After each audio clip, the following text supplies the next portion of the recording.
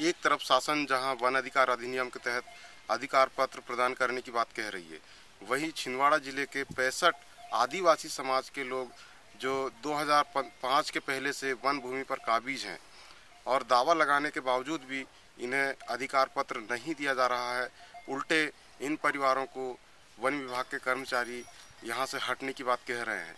मैं राजू परतेती और ये मेरा समुदाय। मैं इसी खेत को जोत बखर के बहुत सालों से खा रहा हूँ।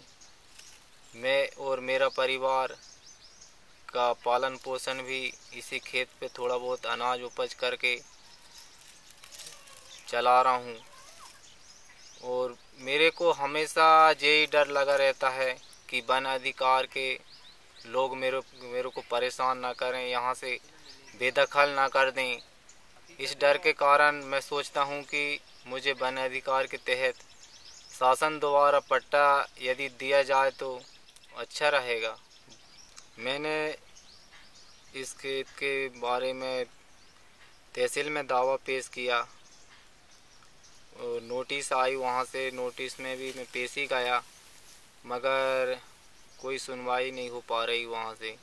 इस खेत से मैं अन्न भी उत्पन्न करता हूँ और खेत में कुछ दो चार पेड़ आंवला के हैं, वो आ जाता है सीज़न तो आंवला की फ़सल ले लेता हूँ, महुए हुए हैं।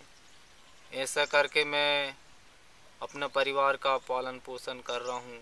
मैं आप सभी इस वीडियो देखने वाले दर्शकों से अपील करूँगा कि आप हमारे छिंदवाड़ा ज़िले के कलेक्टर श्री जे के जैन से ज़ीरो इकहत्तर बासठ, चौबीस, तेईस, ज़ीरो दो में बात कर उन पर दबाव बनाएँ, ताकि इन भाइयों को अधिकार पत्र मिल सके। मध्य प्रदेश छिंदवाड़ा ज़िले से मैं राजू परतेती, इंडिया अनहर्ट के लिए।